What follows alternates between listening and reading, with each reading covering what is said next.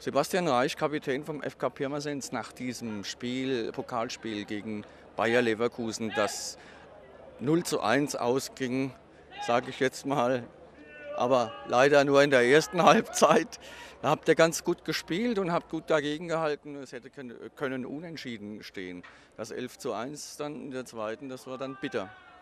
Ja gut, ich denke, die erste Halbzeit war überragend. Da haben wir genau das gemacht, was wir uns vorgenommen haben. Das hat super funktioniert.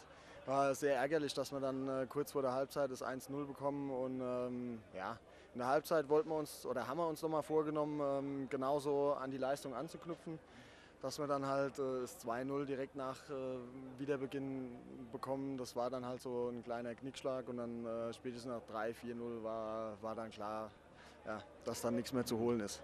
Ab dem 2-0 kam dann der totale Zusammenbruch leider. Aber ich glaube, da ist auch ein taktischer Fehler gemacht worden. Heinkes hat umgestellt und äh, da waren viele Außen frei dann in der zweiten Halbzeit bei Werder Bremen, wollte ich jetzt sagen, bei Bayer Leverkusen.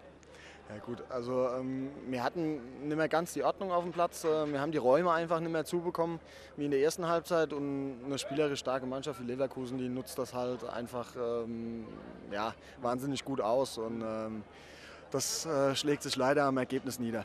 Ja, die haben leider beim 6 zu 0 nicht aufgehört, sondern haben weitergemacht. Dann ging es eben bis 11. Was anderes, äh, ich habe vorhin im Interview dich gehört äh, mit der lokalen Presse hier. Äh, du hast früher schon gegen den Manuel Friedrich gespielt äh, und heute auch. Dessen Trikot hast du auch an. Hast du, hast du getauscht und du kennst ihn gut und soll eigentlich ein netter Gegenspieler gewesen sein heute. Ich, du weißt, auf was, ich ein, auf was ich anspielen will. Das Spiel gegen Werder Bremen, da gab's ein, hast du ein anderes Trikot bekommen, nämlich vom Miroslav Klose. Und der hat dir, ich sag mal, in der Mitte wehgetan. Der Manuel Friedrich nicht?